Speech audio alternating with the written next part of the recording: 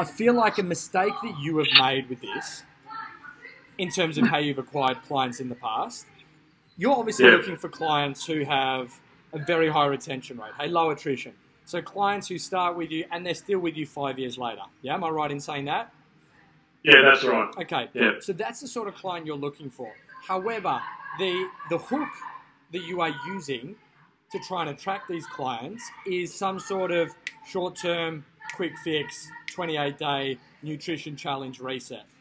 So the sort Yeah. of person you're attracting to that firstly you're probably attracting females because of the wording of that message which is Yeah. going against this imbalance that you already have that you're trying to correct. Yeah. Secondly, you're attracting the sort of person who wants a quick fix, who wants a fast result, who wants to drop six kilos in four weeks so they're ready for And I saw summer, and then they say, see you later. Yeah.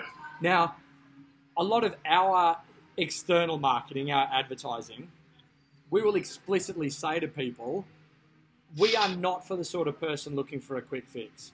We are not for the sort of person looking for an easy way to do this. We are not for the person who wants to lose four kilos in four weeks. We are for the sort of person who wants a long, slow, consistent process that works over decades, not over weeks. Yeah. Yeah. And because of that, maybe we only attract a third of the clients that you would attract.